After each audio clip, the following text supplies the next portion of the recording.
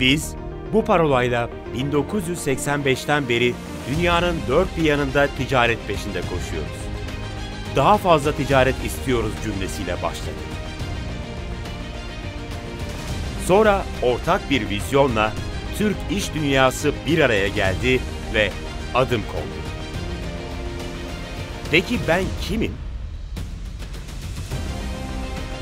Ben gücünü kurucu kuruluşlarımdan, üyelerinden, dünyanın dört bir yanında ticaret peşinde koşan iş konseylerimden ve sinerji içinde çalıştığım karşı kanat kuruluşlarından alan Türk iş dünyasını bütün renkleriyle buluşturan bir iş platformuyum. Ben DEİK'im. DEİK, iş dünyamızın lokomotif kuruluşu haline geldi. 2019 Recep Tayyip Erdoğan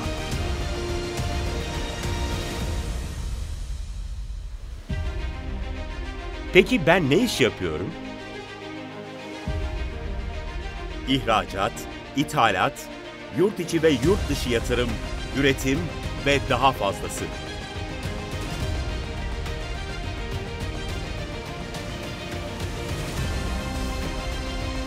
Dünyanın dört bir yanında sayısız iş forumu, B2B görüşmeleri, yuvarlak masa toplantıları, konferanslar, paneller ve zirvelerle yeni bağlar kuruyor.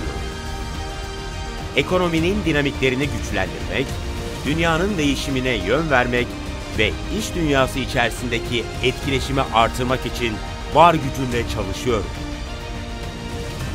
Bunun için hazırladığım içeriklerle üyelerime ve iş dünyasına katkı sağlıyorum. Dünyaya dağılmış Türk girişimcileri ortak bir hedef doğrultusunda birleştiriyorum. Her geçen gün insanlar, ülkeler ve hatta kıtalar biraz daha yakınlaşıyor. Uluslararası ticaretin dengeleri hızla değişiyor ve dünya ekonomisi yeniden şekilleniyor. Ben bu değişime ayak uydurmaya çalışmıyorum. Ben bu değişime yön veriyorum. Çünkü ben ticareti bir savaş unsuru olarak değil, toplumları kalkındıran, dünyayı güzelleştiren, doğayı koruyan teknolojilerin gelişmesine katkı sağlayan bir araç olarak görüyorum.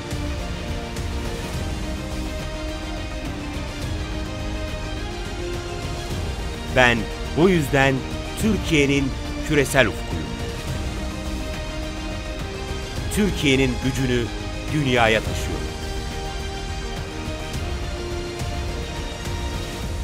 Hadi, zaman şimdi birlikte hareket etme zamanı. 146 iş konseyimle seninle iş yapmak istiyorum.